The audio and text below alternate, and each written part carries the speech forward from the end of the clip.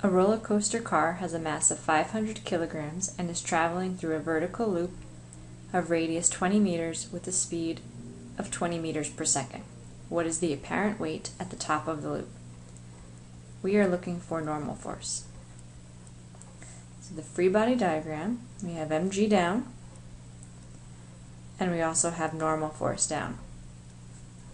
And acceleration is also down, since acceleration is towards the center of our circle start with our sigma f equals ma. Our sigma f is mg plus fn equals mv squared over r. We can just make everything positive since everything is pointing down.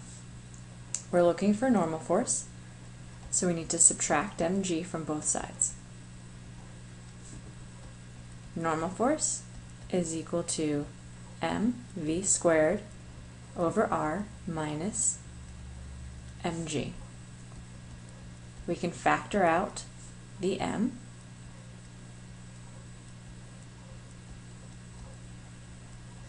And now we can plug in our numbers.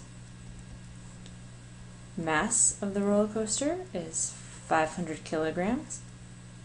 V is 20 meters per second.